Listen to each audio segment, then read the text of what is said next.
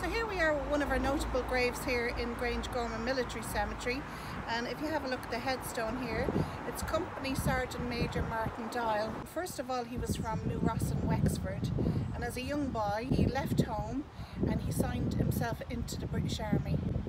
Now to his father's horror who had to sell a prized cow to go and buy him back out of the army. As soon as Martin was ready to go again after 18 years of age, he headed straight back over to England and signed up again. He was awarded the Victoria Cross, which is the highest award for gallantry in the British forces. I'm sure you've seen the film Forrest Gump and there's a notable scene where he's he's in battle in Vietnam uh, they're ambushed and his friend is shot he actually goes and saves his friend. He hears another of his colleagues uh, crying out and then goes and saves him. And he actually gets hit himself, but continues to save his men. And for that, he got a Medal of Honor. And something very similar happened to Martin Doyle. So he would have seen service in India and then during the First World War he signed up and he was sent over to France and to a place called Riencourt.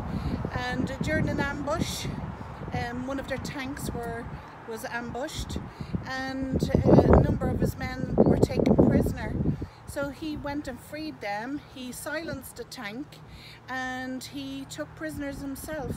Now he was brought to Buckingham Palace and he met with King George V and Queen Mary and he was the only Irishman at the reception on that day. So when he came back after service of uh, with the British forces after the First World War, he came back to Ireland and he wasn't happy with what he seen the British forces doing to his own comrades or his own uh, countrymen.